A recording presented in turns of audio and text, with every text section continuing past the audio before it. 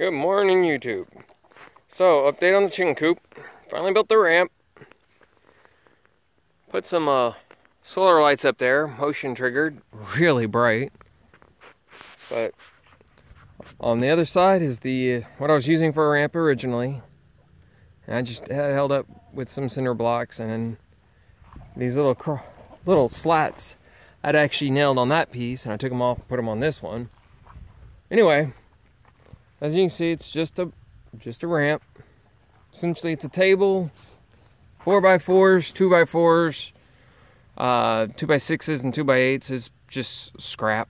That's actually most of this. It was all put together with all scrap, which is kind of awesome because that's uh, indicative to the entire coop is quite a bit of it. The motivation was to reuse as much material as possible.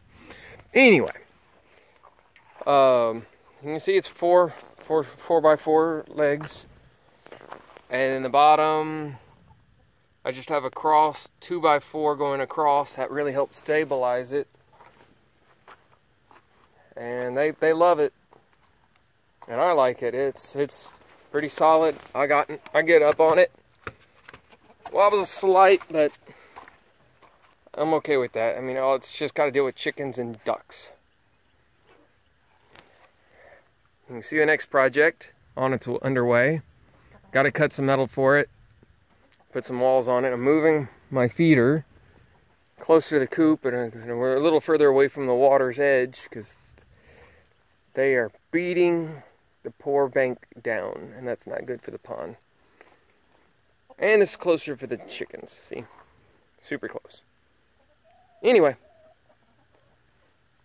there's the update. Pretty simple, very functional. Oh, I love this. So it's not flush, but near flush. And all I did was actually just mount a board on the underside and screwed it in from the bottom.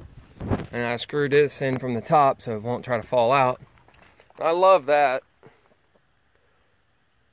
I mean, I probably could have put a beveled edge or anything like that, but that works pretty darn well, especially with my skills behind a saw. And I put a piece of wood, uh, concrete under the wood right here just to help keep keep the ramp out of the mud, off the dirt. You see it's all on concrete. Just to try to help keep it from maybe rotting out. The cinder blocks are there because some of the chickens just like to jump instead of using the ramp. So it makes them happy. You see how that rooster just jumped? Whoops!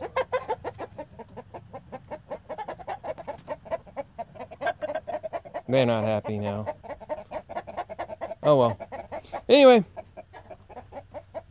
y'all have a good one. If you have any questions, comments, helpful advice, you know, we're all here learning. Feel free to leave a comment. Feel free to subscribe. And I will see y'all later.